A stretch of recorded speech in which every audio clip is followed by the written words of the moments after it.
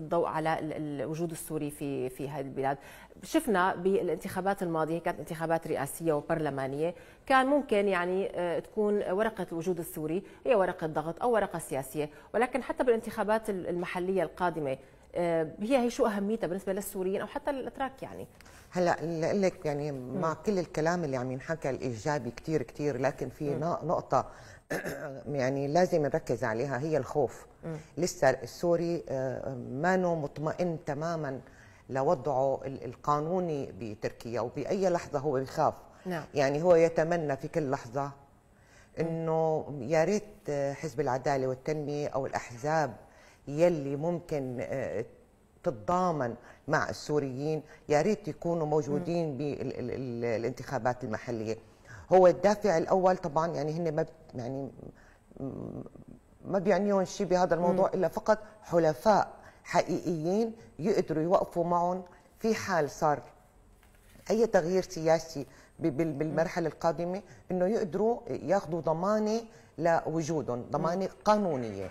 هذا شيء كثير بيعنيه للسوريين من هذا الباب. نعم. طب أستاذ زين خليني انتقل للاستاذه سهيل بنقطة معينة. هل اليوم مشاركة السوريين بالانتخابات بتركيا هي لها ربما أثر معنوي إيجابي. أم لا هي فعلا نوع من شعورهم بالاندماج والانتماء للمجتمع التركي. طبعا طبعا. هلا يعني نحن مثل ما تفضل الأستاذ كنا عم نقول إنه سوري وقت طلع من سوريا أو حتى أحد أسباب الثورة اللي قمنا فيها هي إنه نحصل على حقوقنا كمواطنين. نعم. يعني نشعر بالمواطنة ببلدنا.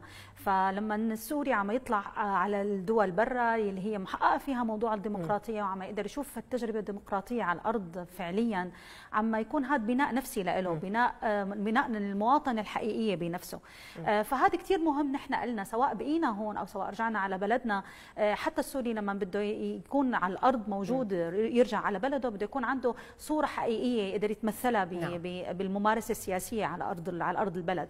فهذا الأمر كثير مهم لنا كبناء نفسي لأن كبناء حتى هلأ الأطفال اللي عم يعني أطفالنا السوريين عم يولدوا بتركيا عم يكون في عندهم على الأقل تصور واقعي وعملي لهذا الأمر يلي عم يكبروا وينشأوا بمجتمع يحترم الحقوق يحترم موضوع المواطنة يمنح الغريب عم يمنحه حق ما ما قدر يحصل عليه ببلده.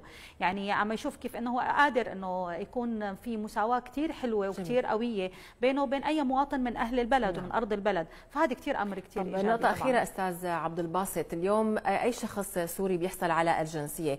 مجرد حصوله على الجنسية هل هو اليوم بيقدر يشارك يصوت بأي انتخابات؟ أو لازم يمكن يمرق فترة محددة على حصوله للجنسية؟ أنا اللي بعرفه إنه فورا أول ما بتأخذ الجنسية بتتمتع بكامل الحقوق اللي بيتمتع نعم. فيها أي شخص تركي.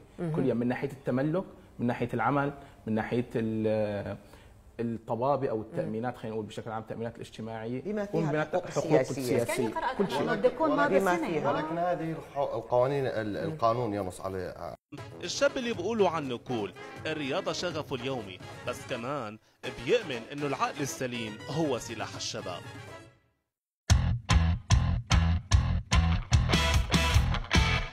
أما جود صبية كتير مهضومة. بتشوف الحياة بالموسيقى. وبتقدر كمان تكشف موسيقى الحياة بكل شي حولها. كلهم رح يلتقوا ويحكوا أخبار واهتمامات الشباب ببرنامج حكي شباب.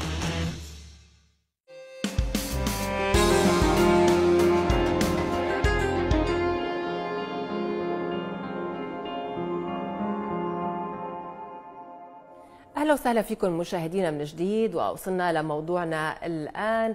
موضوعنا هو بيحكي عن تركي. تركي هو يحرض الأتراك ضد السوريين ولكن هذا التركي منتحل صفة سوري يعني السلطات الأمنية. لما تحرت عنه عرفت إنه هو تركي ولكن هو على الحساب على تويتر وحتى على الموقع اللي أنشأه كاتب إنه هو سوري. كان هو طبعا من أوائل الأشخاص اللي نشروا الفيديو الخاص باحتفال السوريين بالعام الجديد. وحتى قال إنه من الأتراك إذا اللي مو عاجبه بيقدر يغادر تركيا ويروح. أستاذ حمزة بداية يعني شو تعليقك على آه، يعني إنه شخص تركي يقوم بهي الفعلة؟ شو الشيء اللي بيدفعه ليقوم بهذا الشيء؟ يعني هو هذا شخص عنصري طفولة يعني م. دفعته بهذا الموضوع وكأنما هي تركيا ملكه لشخصه ولا يريد أحد بها. يعني هي هذا هذه الأرض بالنهاية نعم. أرض لله وكلنا مجبورين أن نتعايش مع بعضنا. يعني في النهاية نحن ننظر إلى الإنسان كإنسان لا ننظر إلى هويته أو جنسه أو غير ذلك. م. هذا الشخص على ما أظن صفحته كما أراها سوريا وطنداشلك أوفيسي. يعني مكتب التجنيس السوريين. يعني حتى اللهجة الذي يستخدمها في المواقع التواصل الاجتماعي حقيقة مفززه حتى لحزب العدالة م. والتنمية. هو الشخص الذي يتعاطف مع هذا الموضوع. طبعا عندما يقرأه الأتراك يشك في الأمر أنه ليس هذا سوري لا يقوم بهذا الشيء كونه مضرة. نعم. يعني يحسب بأن السوري إذا كتب ذلك فينظر في النهاية. لماذا يكتب هذا الشيء؟ طبعا في مواقع التواصل الاجتماعي في نفس الوقت هناك أشخاص أتراك كثيرون من يحب السوريين ولكن يحبهم يعني كإنسان يعني. الحقيقة هذا الشخص سوف يرى جزاؤه مقابل القانون نعم. التركي. هذا شيء مرفوض من قبل المجتمع يعني هو السؤال هو لو هذا الشخص يعني عارف إنه حيكون في محاسبة كانت قاسية من السلطات التركية هذا الشيء ما كان قام فيه من البداية؟ يعني هو الموضوع ليس بالشكل هذا يعني. طبعا قانون بالنسبة لموضوع يعني هل في هل هون في قوانين؟ بتركيا في جرائم بالضبط آه، هذا يعتبر طبعا طبعا يعتبر جرم وزير الداخلية نفسه تابع هذا الأمر. نعم. ليس كل موضوع آه، تعاني منه الدولة التركية يتابعه وزير أو يتابعه أشخاص على مستوى عالي. هذا الموضوع يتابع من قبل الوزير. أستاذة سهير اليوم في مثل هذا الشخص في أشخاص كثير وحتى خلينا نقول في أحزاب في جماعات في مؤسسات. يعني ربما هي لها آه، رأي مخالف رأي معارض آه، ما بتتقبل وجود السوريين. اليوم نحن كسوريين آه، خلينا نقول على على مين بتترتب اليوم المهمة الأكبر بمواجهه هي الشخصيات أو مواجهة هالأطراف؟ وبرأيك كيف الآلية بتكون؟ تماما. هلأ نحن بنحمل هي المسؤولية كلنا يعني م. كبيرنا وصغيرنا. كجواب على سؤالك تحديدا إنه مين بيحمل المسؤولية؟ فنحن كلنا بنحمل المسؤولية. الأشخاص الذين تجنسوا أنا من رأيي. يجب أن يتعلموا يعني يتعلموا اللغة التركية ويتعلموا جميع القوانين التي تخصهم حالتهم اليومية نعم. ويقومون بهذا الدور. تمام. هلأ الفكرة اللي كنت بدي أقولها إنه في فرق بين إنك أنت تكون مثلا تركي ولك رأي بالموضوع تعبر عنه أو تجيب إثبات يعني دلائلك أو تعبر عن رأيك بتعليل أو تبرير وبين إنك تكون أنت داعي للفتنة. يعني داعي للفتنة هذا أمر كثير خطير بإنك أنت عم تبث شائعات أو عم تعزز شائعات ما لها موجوده حقيقة على الأرض. يعني تبث الفتنه يعني قصدك على يعني, يعني هلا مثلا مثل هذا التركي آه تمام. يلي تمام. يلي تنتحل هي الشخصية. ففي فرق بين إنه أنت تكون تركي ولك رأي بوجود السوريين هذا أمر محترم. ممكن إنسان له رأي. بين إنك تكون أنت عم تصير فتنة. والأمر اللي كثير نحن أحيانا بنغلط فيه هو إنه نحن أحيانا نحن كمان كسوريين بنعزز هذا الشيء بإنه ننشر. يعني بننشر لنا متحققين من مثلا الإشاعة شو مصدرها لنا متحققين من الأمر. فنحن كمان مثلا سمعنا خبر ما متحققين منه بنروح بننشر. يعني الإشاعات اللي طلعت ما كانت يعني حتى نحن كمان عم بيكون في علينا يعني عبء أو خلينا نقول ذنب كبير بإنه تماما. نحن نعزز هذا الشيء. تماما عم نعزز يعني هذا يعني مثلا تذكروا إشاعات اللي طلعت على إنه نحن بندخل جامعات بلا اختبارات بناخذ بيوت مجانيه هو كان تصريح اوسلو بالنسبة لموضوع الجنسية ردا على موضوع على هذا الشيء. فهي فنحن بنيجي بنعزز هذا الشيء بإنه نحن بننشر هذا الأمر. فالتعزيز أو خلينا نقول الرد على هي مثل هي الإشاعات أو يعني هي البذور الفتنة بإنه نحن نكون أول شيء مثل مثل ما تفضل الأستاذ أنه نحن نكون لغتنا التركية نتعلم اللغة نحاول ندخل بالمجتمعات التركية بتعايش تقبل مواطنتك بنفس نعم. الوقت. تقبل أنك نفسك هو السوري الذي يحصل على الجنسية يقبل ويعرف أنه نفسه تركي مثل أي تركي. تمام. مواطن مسؤول يعني نحترم قوانين البلد نحترم أنظمة البلد ونحاول م. نكون نحن مثال باماكننا نكون م. محترمين كل كل المنظومة اللي هي السياسية والمنظومة خلينا نقول الثقافية الاجتماعية م. الفكرية اللي موجوده في بالبلد نحترمها ونحافظ عليها ونقوم فيها يعني يعني قوانين خلينا نقول مبادئ الفهلوة أو الشطارة يلي أحيانا السوري كان ما يحس بالمواطنة ويقوم فيها ببلده آه، على إنه نحن دائما كانت مسؤوليتنا بتتوقف أو بتبدأ من عند عتبة باب بيتنا. يعني نحن داخل البيت حاسين بالمسؤولية لكن خارج البيت كان بلدنا نعم. سليبة. يعني نحن ما نحس هذا البلد لنا فكنا نشوف بعض الممارسات سرقة كهرباء ما بعرف آه، ما في ترخيص نحاول نخالف نحاول. فهي الأمور لازم كثير يكون لها حد ونقاط حاسمة هون. لأنه نحن بالنهاية آه، ضيوف. ضيوف لبلد آه، يعني قامت بواجبها والزيادة تجاهنا. قدرت تعرف شو قلنا حقوقنا واعطتنا أكثر من نعم. حاطتنا بما يساوي المواطنين الأتراك نفسهم. طيب أستاذة هند برأيك يعني يعني لايمت رح تستمر هي خلينا نقول هي الممارسات أو هي ال ال ال الأعمال الفردية أو حتى ال يعني خلينا نقول الجماعية اللي بيقوموا فيها آه، بعض الرافضين هي هي, هي بتشتد أثناء الحملات الانتخابية. هي أكثر شيء بتكون بهي المسألة هون. وممكن بعد منها تهدى شوي. لكن ممكن آه، وجود الأشخاص اللي هن آه، عنصريين وجود الأشخاص المتضررين بشكل فردي من وجود ممكن يكون صار في خلاف بالشارع بينه وبين سوري بيطلع على على وسائل التواصل الاجتماعي ببلش بيسب كل السوريين. هي بدنا نتوقعها إنه هي رح تكون موجودة. نعم. طول ما نحن موجودين بتركيا هي القضايا رح تكون موجودة. لكن أنا اللي بقوله بيعتب يعني بعتب على شبابنا بعتب على على فئة آه، شابة كثير موجودة حوالي مئة ألف سوري آه، شاب وشابة ومن درجات تعليم عالية ومنخرطين وحابين يكونوا موجودين بتركيا ويعملوا فرق بحياتهم القادمة. ليش ما بيكون لهم منصات إعلامية منصات عبر وسائل التواصل الاجتماعي؟ لا تقدر تكون هي الوسائل تخاطب شرائح ثانية من المجتمع التركي بيشبهوهم أو حتى نعم. ما بيشبهوهم لكن لازم يكون في عندنا منصات إعلامية تقدر تصل لأكبر شريحة من الأتراك ويكون نعم. في علاقة تشبه العلاقة اللي ما بين الحزب الحاكم الآن وما بين آه، نعم. السوريين. تماما آه، وصلت آه، الفكرة. رح نروح هلأ لخبر هذا الخبر يعني هو مع الأسف خبر مؤلم وصادم. الخبر مثل ما شايفين بالصورة حقيبة سفر. هي الحقيبة تم العثور عليها بإحدى حدائق ولاية غازي عنتاب التركية. مع الأسف مع فتح الحقيبة تم العثور على جثة طفل عمره ستة أشهر. خلال التحقيقات والتحري تم الكشف أنه سوري يعيش في ولاية غازي عنتاب التركية هو المسؤول عن قتل هذا الطفل. هذا الطفل اللي هو ابن زوجته السورية أيضا. القضاء التركي طبعا آه، حكم هذا الرجل بالسجن مؤبد. أما بالنسبة للأم فتم الحكم بسجن خمس سنين وأربع أشهر آه، يمكن مرات بنقول إنه السجن مؤبد بس ولكن بعد شو؟ بعد ما الطفل فقد روحه. يعني طفل يعني مستحيل عقل بشري يتحمل انه إنه يتعرض لكل هذا التعذيب وهذا الألم لحتى توفى أستاذة هند أنا بدي أبدأ من عندك. دائما أنت بتهتمي يعني بيكون دائما عندك يعني خلينا نقول الحس الإنساني عالي بهذا الموضوع. أكيد مو بس أنا كل الناس يعني بهيك مسألة فاجعة كبيرة م. بتكون كثير يعني نحن عشنا هي المآسي يومية وآنية بسوريا. يعني بتمنى دائما إنه إنه إنه ما عاد تشوفها هون م. بتركيا ولا بأي دولة ثانية لكن هدول رح يكونوا في شخصيات في نفسيات طفرات إجرامية موجودة بكل آه، آه، آه، أو بالأحرى بعض البشر. يعني بعض البشر رح تطلع عندهم هي الطفرة سواء تركي أو سوري. اللي أنا ساعدني يعني كثير أنا سعيدة بالموضوع اللي بخفف عنك ألمك شوي بهي القصة إنه الحكم كان عادل. مم. يعني إلى حد ما ما رح نطالب أكثر من أستاذ عبد الباسط كان بيخالفك الحكم هلا دقيقة أنا عم أقول أنا ما بحب يعني أنا أنا واحدة من الناس اللي بكره الإعدام. مم. يعني بكره الإعدام بشكل ما بتخيله عقل. لكن أنا برأيي إنه هذا يتاخذ ينحط بقفص وينرمى بالغابة. مم. تجي الوحوش تاكله معلش ساعتها قضاء وقدر بصير يعني. يعني هو وهذيك المتآمرة معه يعني. يعني هي جريمتها أكبر من جريمة هذا الأب. هي أم. يعني هي, هي أم. كيف فرطت كيف قدرت وعم تدافع عنه؟ أنا برأيي لا قفص استاذه يعني أنت أيضا أم يعني خليني اليوم أنا اسالك كونك أم ولست صحفية ولست إعلامية ولست كاتبة.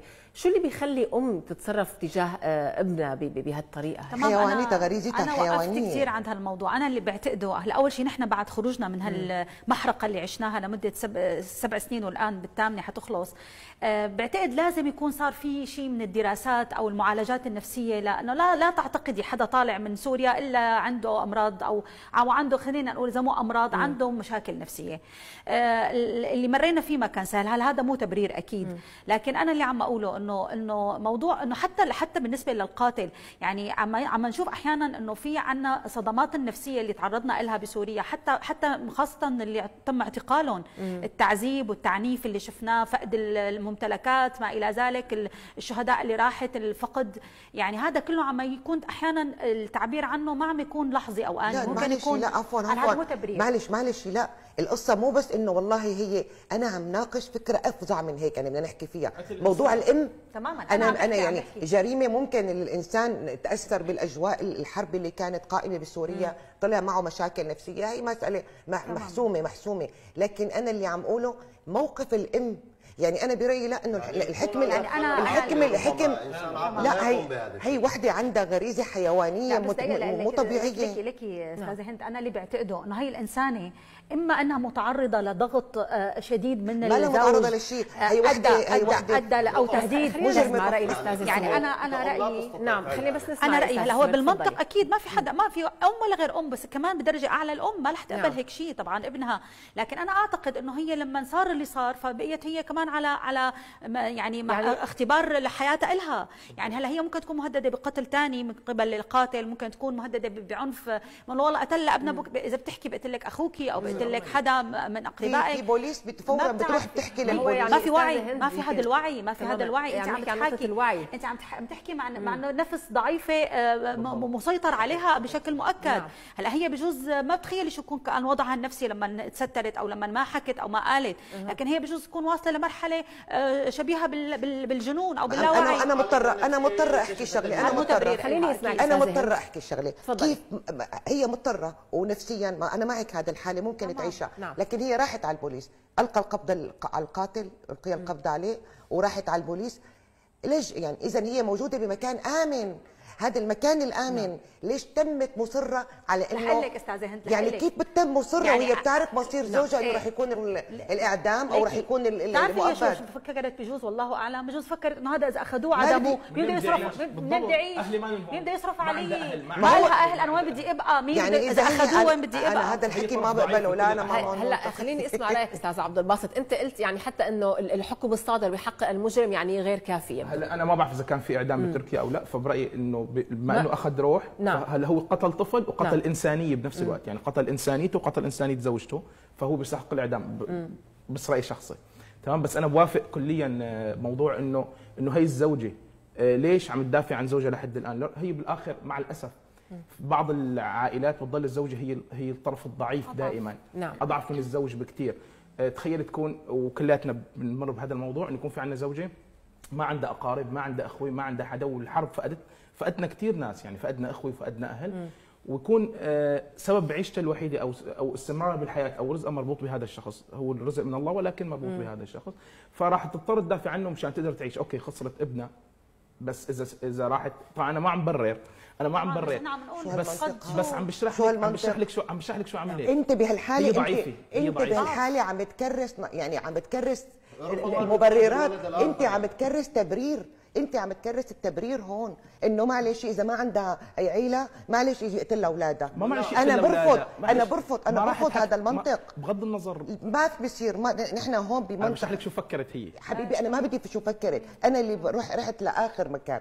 رحت على البوليس فاتت على البوليس. تمام؟ القانون لا يحمل المغفلين طيب تمام. أستاذ حمزة في نقطة مهمة. نعم. اليوم السوريين يعني بغض النظر هي المرأة اليوم السوريين بيخافوا كثير يتوجهوا للمراكز الأمنية برافو عليكي برافو بيقول لك إنه أنا ممكن ينحط الحق علي بالنهاية ممكن أنا أتجرم بعد ما أنا أكون الضحية. طيب. وهي هيك صار فيها. يوجد مراكز. يوجد مراكز باللغة العربية تستقبل الشكاوى مراكز باللغة العربية كيف قدروا يتواصلوا؟ طبعا عن طريق الهاتف. نعم. عن طريق الهاتف إدارة الهجرة. حتى ولو كنت أنت في خطر تستطيع الاتصال خلال ثلاث دقائق أو أربع دقائق يكونوا عندك, عندك في العنوان. نعم. هذا المركز على مدار 24 ساعة مفتوح قديش نحن واعيين حمد لهذا. الشيء قديش نحن دريانين تمام. وعرفانين هذا الشيء إذا ما بنبرر. لماذا نعول على. الأشخاص إذا ما بنبرر. لماذا نعول على المواطنين؟ السوريين الذين حصلوا المواطنين أتراك أصبحوا آه، نعم. اذا صح التع... إذا صح ال... ال... الكلام خليني لك. حتى المواطنين السوريين لا لاني بدي لك شغلة في في منظومة السوري عاش فيها لمدة 40 سنة اللي هو ال- الخوف من التوجه لأي مركز أمني اليوم حتى السوري هذا الشيء عم بيواجه هون بتركيا ما عم بيتم التعامل بجدية مع أي أمر عم بيتوجه فيه إذن هذا الأمر طبيعي. يجب أن نأخذ الوقت ال- الكافي لأجل أن يندمج هذا المجتمع. نعم. يعني احتمال يستغرق هذا الأمر عشر سنوات أو أكثر. لماذا؟ وبنختصره نحن لما بيكون في عندنا 18 جهات سنة مجتمع مدني. الموضوع جدا مهم. في وأنا مجتمع مدني. هذا الأمر يعني. إذا. كان في منظمات نعم. مجتمع مدني سوف يكون بعد عشر سنوات. إذا لم يكن الموضوع جدا مهم أستاذ حمزة يمكن بحاجة حتى لوقت أكثر من هيك ولكن آه، محورنا انتهى. اذا مشاهدينا فاصل ومن بعده رح نبدأ بمحورنا الثالث والأخير.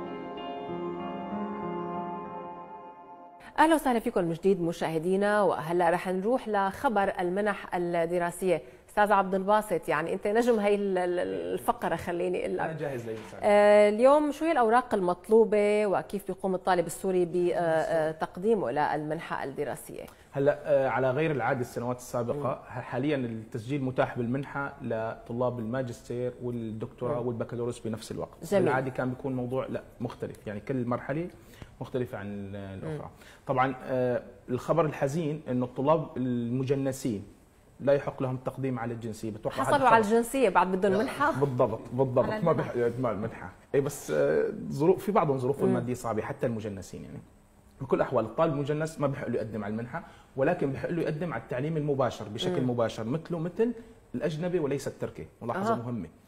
الطالب الطالب المجنس. الطالب المجنس بيقدم على الجامعة. الجامعة. آه، يعامل معاملة الطالب الأجنبي. بالضبط. ليس معاملة الطالب الأجنبي. في في سياق الطالب الأجنبي كونه لا يعرف اللغة شو. الفرق يعني في شو سياق؟ الفرق هنا اللغة تختلف نعم. موضوع اللغة. كونه لا يملك اللغة يقدم من ال- البوابة الأجنبية. أها. ولكن حقوق هو مواطن تركي في المقاعد. النهايه أنا بحكي عدد المقاعد أستاذ. عدد المقاعد. المخصصة للطلاب الأجانب. هلا هلا في انت عندك عدد المقاعد للأتراك وعدد مقاعد الطلاب الأجانب. أنا كسوري مجنس بقدم مو على المنحه عم بحكي عم بحكي على التسجيل المباشر مشان ما يفيدوا الأمل الطلاب المجنسين. يقول أنا ما عاد فيني أقدم على الجامعة لأنه ما بيطلع لي منحة. لا في عنده بوابة أخرى هي بوابة التسجيل المباشر على كويس. عدد على مقاعد الطلاب الأجانب وبنفس الوقت بحق له يقدم للأتراك. ولكن الأتراك عندهم امتحان صعب. نعم. ال- الامتحان تبع الأتراك صعب فأنا كطالب مجنس الافضل إني أقدم كطالب أجنبي. حتى الطالب التركي الدارس برات تركيا بيقدم كطالب أجنبي آه، امتحان اليوس أو امتحان السات. الأوراق المطلوبة؟ الأوراق المطلوبة آه، قصة طويلة. بدنا نحط ببالنا شغلة. موضوع المنحة هو موضوع مفاضلة اختيار اختيار الأفضل. يعني أنا لازم أقدم أكبر عدد من الأوراق الممكنة اللي تخلي هذا اللجنة اللي راح تحكم على ملفه يختارني وما يختار زميلي. فموضوع موضوع تفاضل. هلأ في شيء مثلا خلينا نقول الشرط اللازم وغير كافي يعني أنا معي يوس بس رفيقي ما معه يوس فأنا أفضل من رفيقي. مو لأنه اليوس شرط بس لأنه رفيقي الآخر معه يوس فهو وضعه عالية. أفضل. معلش بالضبط خليني أسأل بسؤال إيه، بالنسبة أستاذة للمنح المنح المفروض تقدم عن طريق ال- الإنترنت. اي أونلاين. آه أونلاين.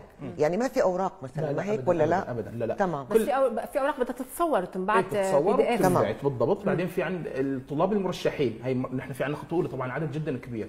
بتحكي السنة الماضية ب 130 ألف. مو 130 ألف متقدم آه، للمنحة بس فقط البكالوريوس. آه، طبعا تم اختيار 4000 تقريبا الأرقام. اجانب بشكل عام كلهم. اجانب بشكل عام من كل دول بعد العالم. البكالوريا هذا الحكي؟ لا. البكالوريوس الجامعة. بكالوريوس. آه إيه، الجامعة إيه. بالضبط. يعني طبعا دراسة جامعة. اي طبعا إيه، كل. الجنسيات متاح مت- فينا تقدم. فينا تقدم على على المنحه طبعا في آه، لجان بتقابل بال- بالبلد الأم يعني الشخص بيقول مثلا أنا بدي مقابلتي باليمن فبيكون في لجنة عربية نعم. تركية بحق له للمقدم على المنحه على المنحة يحكي باللغة اللي بده إياها يختار أي لغة كانت. اللجنة هي المقابلة هي جدا مهمة لأنه هي اللي راح تحكم على صحة الأوراق وراح تحكم إذا هذا عادة الشخص. بالمقابلة شو ال- شو الأسئلة اللي بيتم طرحها؟ خلينا هيك شوي يعني نساعد الطلاب اللي حابين يقدموا على المنحة. نغششهم إيه، نغششهم. أوكي. هلأ بينظر أكثر شيء المقابل بينظر لشخصيته ال- لشخصية ال- طالب. الطالب. بده يعرف هل أنا إذا صرفت على هذا الطالب وأعطيته منحة وبعته على تركيا. نعم.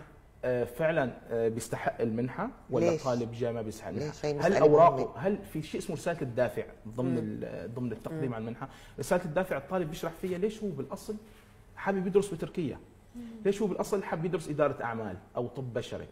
تمام؟ فهذا الطالب لازم يكون طموحه يعني أهدافه. بالضبط لازم يكون قادر إنه يدافع عن وجهة نظره إنه أنا بدي أدرس طب لأني أنا بحب الجانب الإنساني لأني أنا مثلا لو كنت أنا سوري فبقول إنه أنا في عندي مصابين بسوريا كثير في عندنا مشاكل نحن محتاجين على سبيل المثال معالجين فيزيائيين لهندسه الأطراف الصناعية. طب هذا الشيء هذا له علاقة بخطاب النوايا؟ لكن رسالة الدوافع أو خطاب النوايا هن اسم واحد هن التنتين سوا. هي عبارة عن القناة الوحيدة بين بين الطالب وبين اللجنة. خطاب النوايا كيف مين مين اللي مسؤول عن آه، الطالب. الطالب؟ الطالب هو هلا الطالب هو أكثر شخص بيعرف حاله ليش بده يدرس طب أو ليش بده يدرس هندسة. هلا الطالب ممكن يستعين بوالده لأنه والده أقرب شيء له ممكن يساعده أو والدته إذا كانت نعم. اكاديميه بهذا الموضوع. ممكن اصدقائه ممكن ياخذ فكرة عن النت مو غلط. يعني يقرأ على الإنترنت إنه شو هو خطاب النوايا. خطاب النوايا كملاحظة رقم واحد لازم يكون بعيد عن العواطف. والله أنا لأني سوري ومسكين وفقير مشان الله قبلوني بالمنحة. لا. لا. أنا شا أنا طالب في عندي هدف بدي أدرس طب آه بعد ما أدرس طب عندي جانب إنساني بهذا الموضوع ف مختلف عن آه، خطاب النوايا مختلف عن رسالة يعني التوصية يكون عنده لا توصية يعني وضع رؤية. آخر. مم. يكون عنده رؤية مستقبلية لازم الشخص. يكون عنده طموح وهدف مشان أصرف عليه مشان أعطيه المنحة، رسالة التوصية هي رسالة تقدم من شخص أكاديمي أو غير أكاديمي. شخص أكاديمي أو غير أكاديمي بتخبر المنحة أو إدارة المنحة إنه هذا الطالب بيستحق المنحة.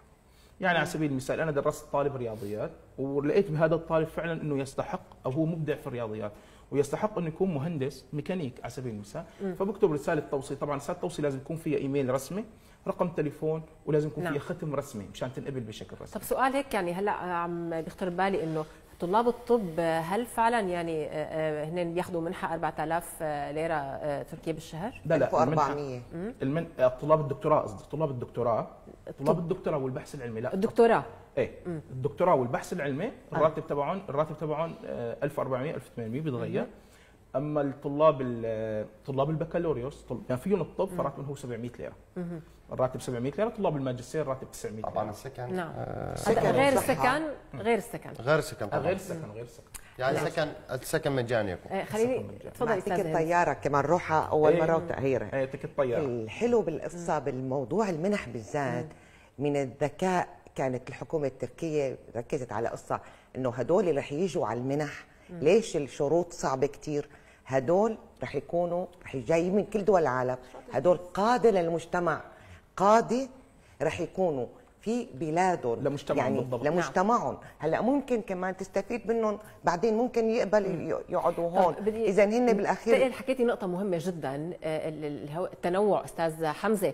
التنوع اليوم بقبول طلاب في الجامعات التركية. نحن ملاحظين آه، تركيا فتح أبوابها للطلاب العرب والمسلمين من كل جنسيات العالم. آه، خليني أقول لك هل في هدف هل في رؤية الحكومة التركية ربما هي عم تفكر فيها على المدى الطويل؟ طبعا بالطبع. يعني إذا رأيتم تركيا قبل 10 سنوات أو 15 سنة ترون الوضع الحالي معجزة. موضوع. آه، تعليم اللغة العربية كان كارثة بالنسبة للأتراك وكان مستحيل. حتى على في حسب اعتقادي لو كان هذا الأمر قبل 20 سنة نعم. آه، يطلبه شخص من الرئيس أردوغان لقال له مستحيل لا نستطيع فعل ذلك. كانت ممنوعة موضوع تدريس اللغة ال- آه، العربية.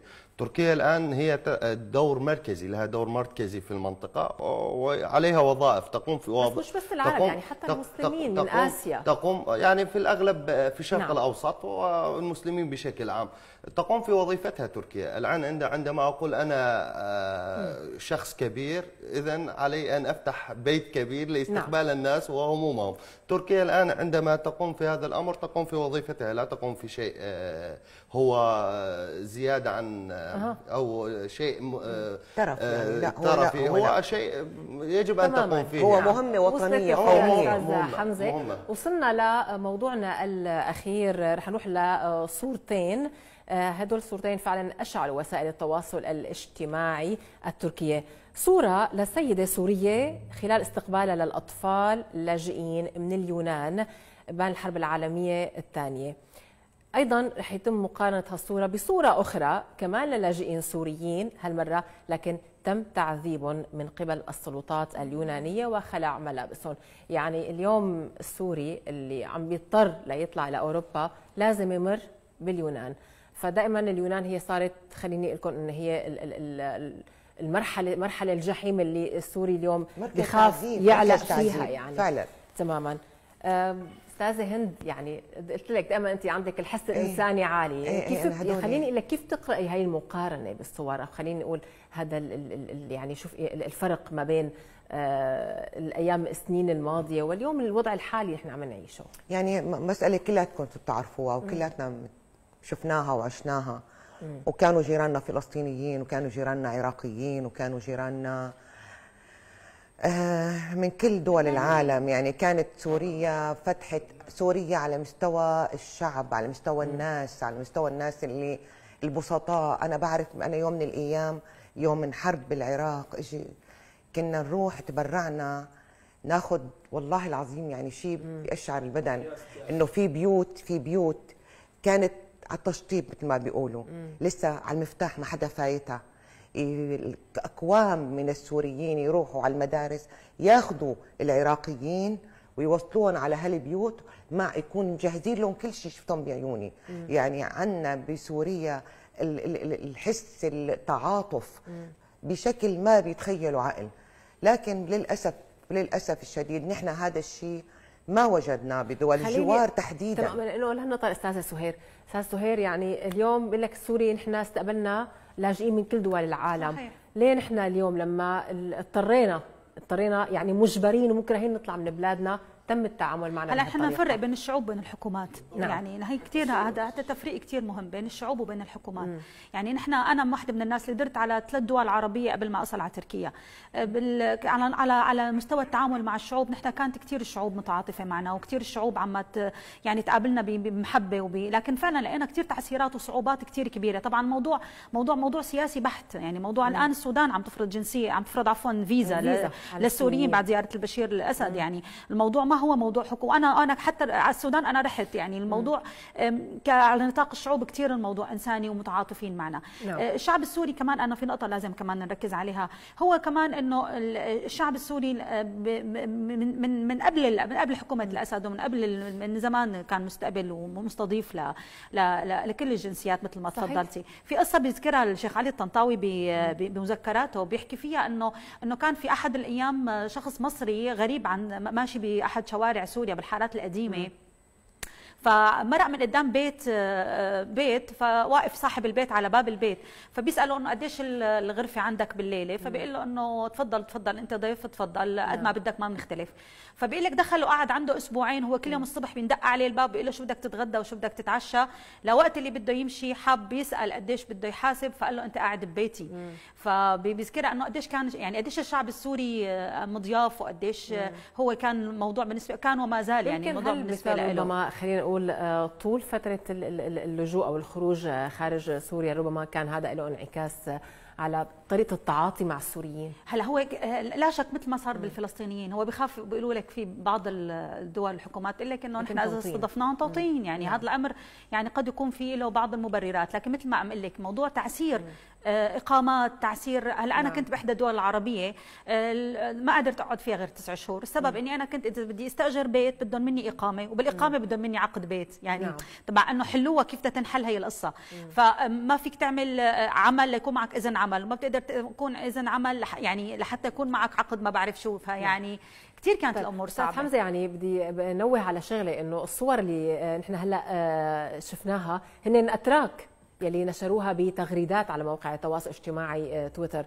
آه، هذا الشيء يعني هو شيء إيجابي مفرح للسوريين إنه أتراك متعاطفين مع آه، مع قضيتهم مع موقفهم من الأمور اللي عم بتصير بسوريا. بس كيف المقابل كمان؟ إحنا بنقدر يعني نشوف إنه حتى في عندك إنه في طرف تركي يعني إنه هو رافض لوجود السوريين. يعني هذا الطرف الرافض بالنسبة لوجود السوريين هم يعني أعداد بسيطة جدا ورافضين على جهالة ليس على علم أو لديه مشروع لا أريد أن أجنسهم ليصبح كذا ويصبح كذا يعني على جهالة ويساهم بهذا الموضوع. كونه يعني إذا كان صامت خالف تعرف كما يقولون. يخالف الرأي لكي أن يكون له دور في المجتمع.